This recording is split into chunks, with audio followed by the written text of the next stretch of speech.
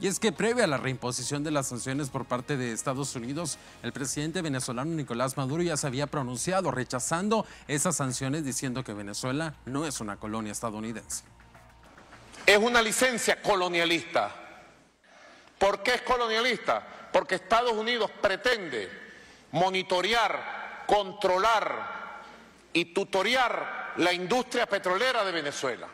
Nosotros hemos tomado nuestro propio curso de trabajo, nuestro propio modelo económico, con amenazas, con sanciones, aprendimos a trabajar y a recuperarnos.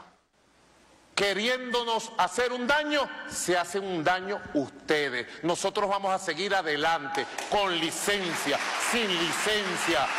Nosotros no somos colonia gringa, no somos colonia de ustedes y Venezuela va a seguir su marcha económica.